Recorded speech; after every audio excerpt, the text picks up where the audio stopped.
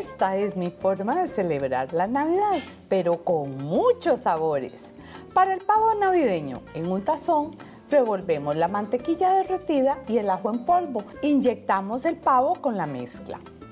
Por otro lado, en la licuadora colocamos el chile chipotle, la ralladura de naranja, la ralladura de limón, el ajo, el romero, el comino, la miel de maple, la miel de abeja, el orégano, la mantequilla derretida y sal y pimienta. Licuamos bien y con ayuda de un guante untamos el pavo con esta mezcla por dentro y por fuera.